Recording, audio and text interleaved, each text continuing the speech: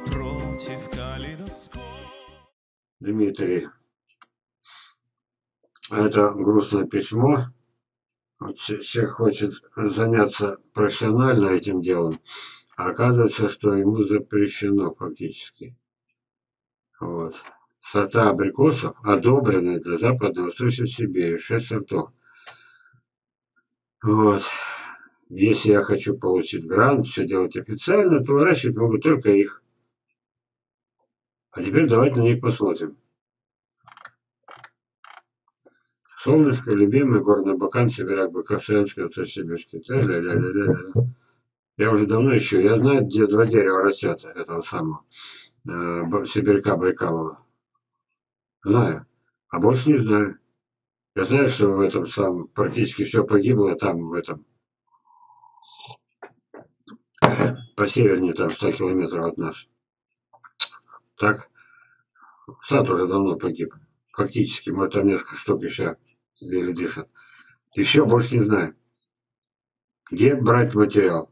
Обращаться к этим самым. Вы наберете горный абакан, а там обязательно будет фотография вот таких абрикосов, и обязательно они будут испанские или итальянские. То есть, э, это самое, э, фальшивые сайты, а сами продадут. И вот если он возьмет это все, с них начнет, это все погибнет. А как теперь будет дальше? еще это он еще не имеет права даже с ними заниматься. И вот э, представим себе, что э, начинается что? Буду искать, где купить по одной штуке. Ладно, невеликие деньги. В общем, видите, какая, как все это горько, когда чьи-то пальцы вот тут на горле у нас. Ой. Живу в Канаде. Два года приобрел участок, длинные суровые зимы, до минус 55. А я все удивлялся. Два, я вырастил до плодоношения два сорта канадских. Нормальные сорта, но не шедевры. Да вот. Не знаю я, что, что это. Ну, я бы не стал связываться с Канадой, да, вот. Возможно ли пересылка семян. Уже хотя бы потому, что официально семена без документов туда не уйдут. Ну, по России еще можно, туда уже никак. Серьезно все это. Вот, если он смотрит, а он наверняка смотрит, человек, который в Канаде, где тут его подпись -то? А, Марина, Марина. Вот. Если бы Марина могли бы организовать мои косточки как-то так, э, где-то в чемодан, да поглубже, да двойное дно. Я черенки прятал от таможенников.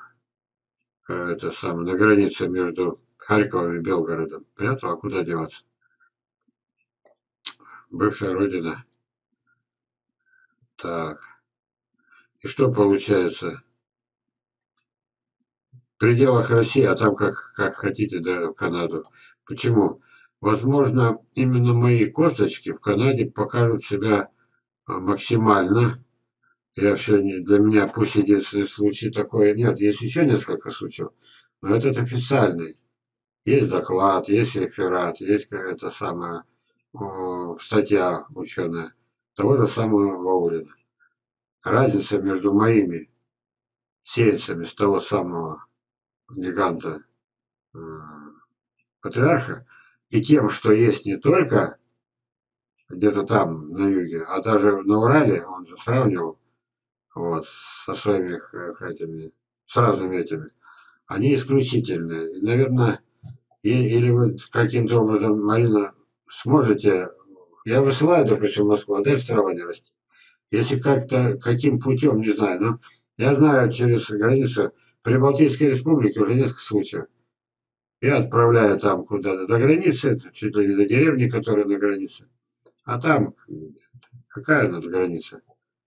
Наверняка друг другу водку пить ездят с одной деревни в другую. Хотя там уже Эстония, Латвия или Литва. Понятно, да? Вот так я отвечаю. Вот. Теперь, абрикос Жардель. Это моя гордость. Написано от Железова. Так, начал созревать. Это было в 18 году.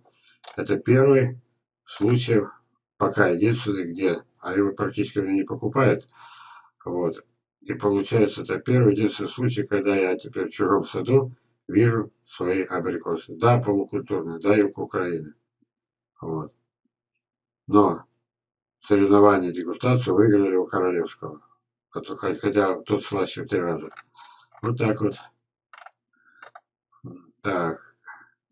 Немножко я пропущу, а на следующем вебинаре я вернусь к этому. Вернусь к этому. Грустная тема. Мне сейчас, я хочу об, об открытии поговорить. Потому что время не резиновое. Эту тему мы обойдем. Я нашел, вот получается, среди ученых, вот там выше письмо, я нашел э, фактически единомышленника. Это бывает редко. Сейчас я вам покажу другого ученого. Вот. С этой дурью я вас потом познакомлю.